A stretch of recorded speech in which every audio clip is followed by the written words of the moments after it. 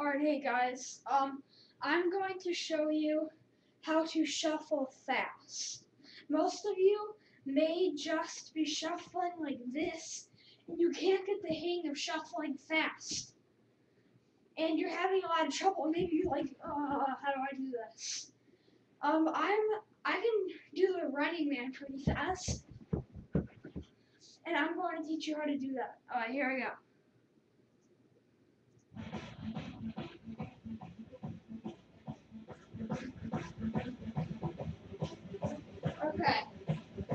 So this is how you're gonna do it. You're gonna just you know the routine? You're just gonna um try to learn as hard as you can. You just gotta keep practicing. And you gotta just learn how to do that really fast. Um I put on shuffling music when I shuffle really fast.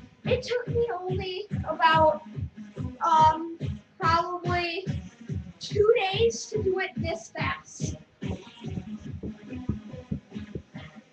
And then I got even better at it. But you're just gonna take a little step at a time. So if you're doing it at about this speed or this speed, just take a little step further each time do it a little faster. So for example, if you can do it this fast, do it about this fast. And then you'll get faster and faster, and I hope that works for you. And just keep practicing until you get it about this fast then you're on your own with shuffling. I